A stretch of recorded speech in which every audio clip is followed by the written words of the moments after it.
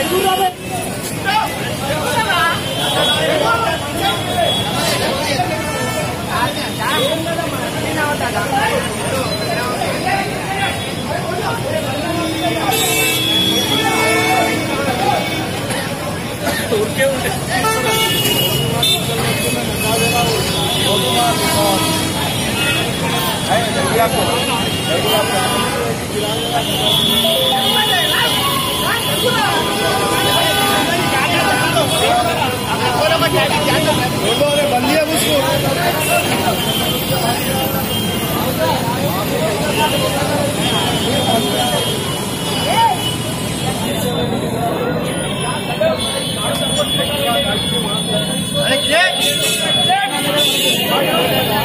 olha.